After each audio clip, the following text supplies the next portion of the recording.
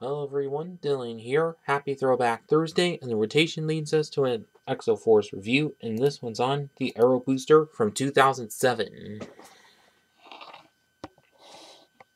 So I'll start off with the only mini, thing you get in this set.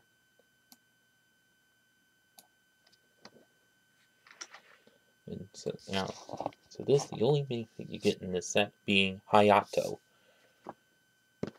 in this version of which kind which does appear in some of the other sets uh, throughout this throughout this year of Exoforce, of course. Like the face print, hair piece, all the same, but torso printing done quite good, but nothing which exclusive to this model. There's the backside which no back torso printing and also the same double side face as in other sets. Now with now, it's kind of odd is how he's like the only minifig in this set. Although I wish we could have gotten something a little extra, like another Devastator robot or even Hitomi or whatever. But maybe that's just me, but yeah. And that's about it with him.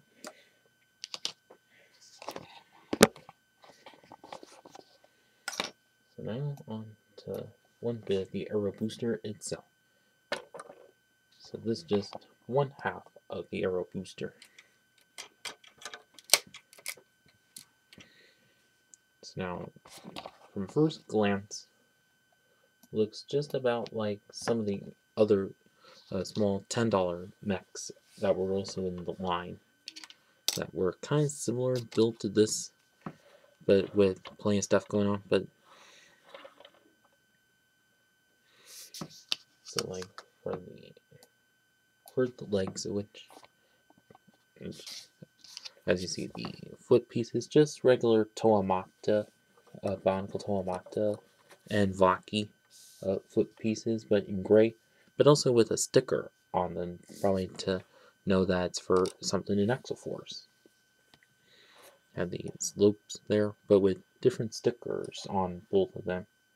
Would be A.12 for something and then upper section just tighten a bit to a hand connector leading to the hip part.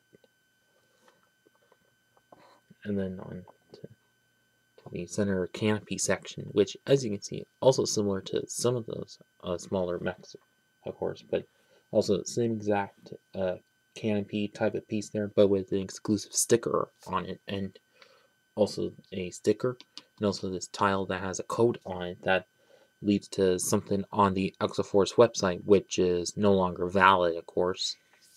But aside from that, like the others, can flip right forward. And, and of course, enough room to fit Hayato into, of course. And fits well over him. And, and of course, all done with SNOT on there. And also have couples large uh, jagged slopes with stickers on the sides for that. Also like one of the other mechs, of course. But as for the arms of which, not at all any accessories to add into them.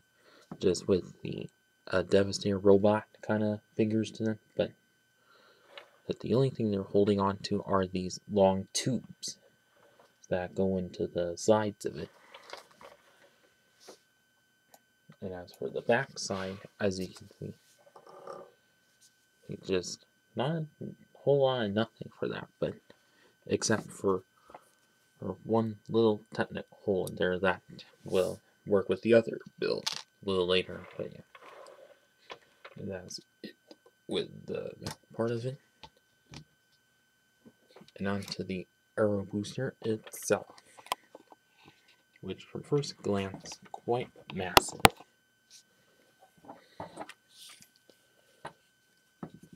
Like this. Oh wait, hang on.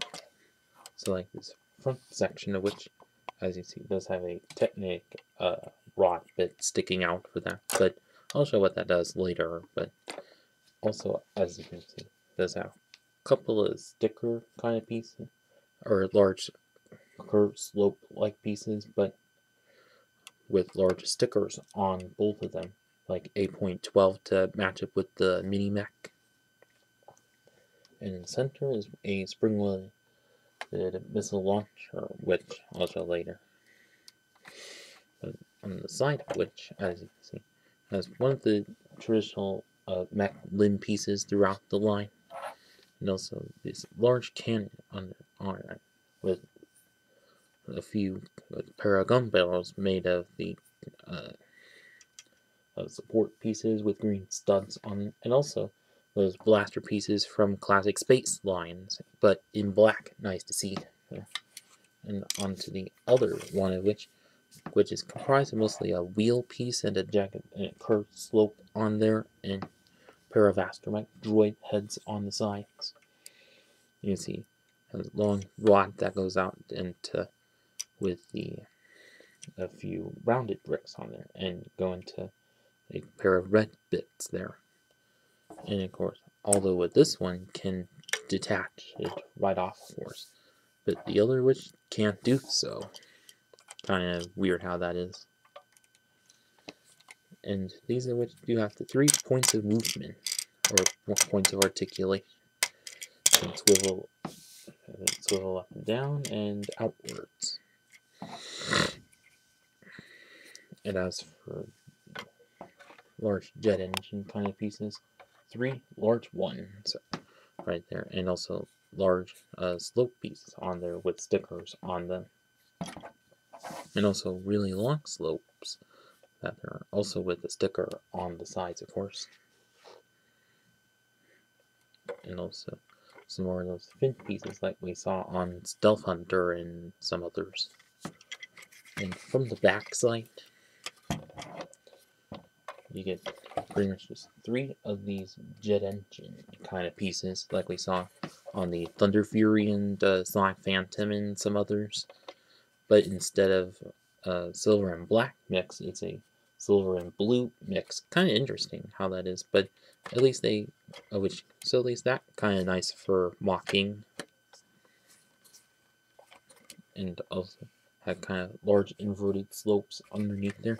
But unlike with whereas both the outer ones have large hollow space to them. But at least they went all together, uh, which kind of well hidden the hollowness.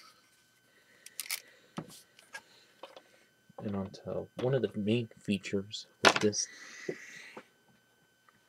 is get one of the uh, and load up in there. And of course, with some technic working bits in it where you can pull on the uh, curved brick on here and shoot it off like so. And of course, gotta love these those kind of launchers. Same with the sprinkler launchers, of course. Yeah.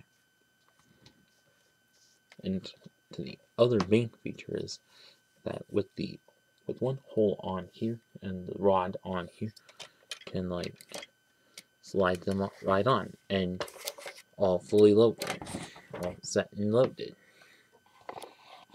ready to like fly really quickly across around Sentai Mountain, of course.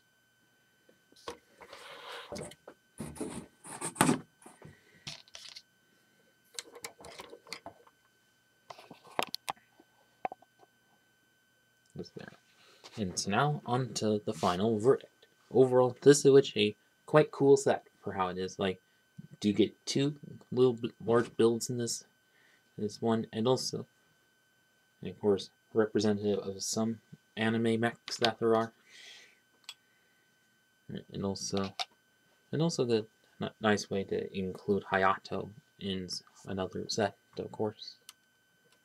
but also good consistent color scheme of red, white, and blue with some slight black to it. kind of close to that of the American flag and then a couple other flags. But aside from that, this is kind of a good sign for the times, like for the 40 for the like $40 or so it was back in 2007. You got plenty good stuff for that. But also, kind of one that uh, Hayato is the only minifig in this set. If I really go, at least could have included like a second, like a little smaller mech with a Devastator robot in that for him to fight up against. But or maybe that would have been a little much and drive the price up a bit. But yeah. but I can still forgive that. But also good to have the large turbine pieces in with blue and whatnot. So at least, but also play playability of which get plenty of that in this set. But yeah. And so now, if you're looking to, so now if you still have this set from back in the day, well, I hope you had some good memories of it. And for those of you who have it and still have access to this set, I'd say definitely pick it up. eBay, Bricklink, Mercari, whatever. And that is about it with this video. Please like, comment, share, and subscribe. Thanks for watching.